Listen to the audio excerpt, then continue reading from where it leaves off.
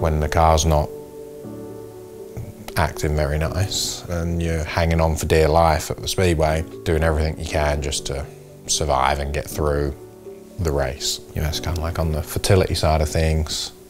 In the beginning, that's what you're doing. You're doing everything you can and you're just surviving day to day because of the heartbreak and stuff that you go through.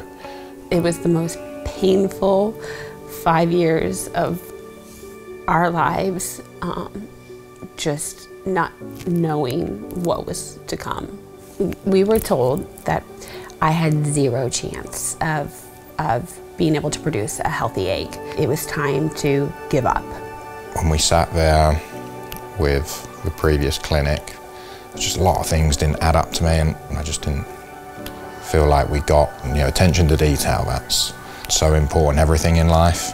And that's when we started thinking maybe we're not getting the care that we need. And so that's when we went to Midwest to get a second opinion, and it was a game changer.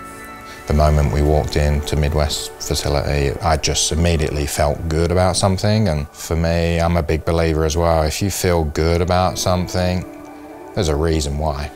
They truly look at you as though you're the only patient in the clinic.